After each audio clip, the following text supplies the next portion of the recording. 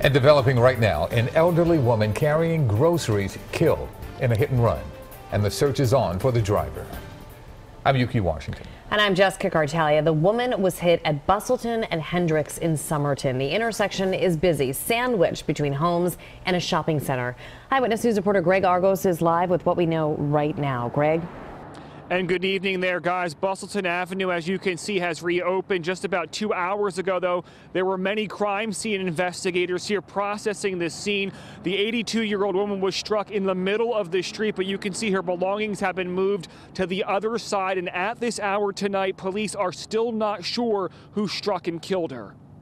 I come out and I see all the ambulance there. A disturbing scene minutes after 6 Thursday night at this busy Somerton intersection. I was shook because I never seen a dead body before. An 82 year old woman killed while crossing the road here at Bustleton Avenue and Hendrix Street. Investigators say the victim had just finished grocery shopping. Laying on the street in the northbound lanes, she was unresponsive. She had trauma to her head.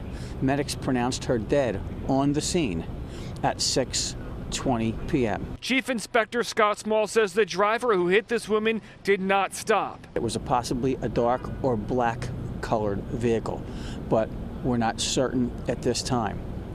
We're not even sure the direction that the vehicle was last seen after striking this 82 year old female. And though multiple people called 911, police have yet to find any eyewitnesses. There were um, some good Samaritans doing CPR. We have all their information. They were interviewed by accident investigators, but those individuals that stayed stated they did not see the auto accident. Now they're canvassing this busy shopping plaza, hoping to find surveillance video of the suspect's vehicle.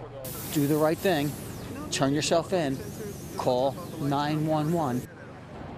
Now, many of the bags the victim was carrying were actually from that grocer over there, NetCost. We went inside, spoke with a manager who was not familiar with who she is. Once again, investigators are combing through uh, this plaza, the shopping area, trying to find surveillance video of the suspect's vehicle. It is described once again as simply a dark colored vehicle.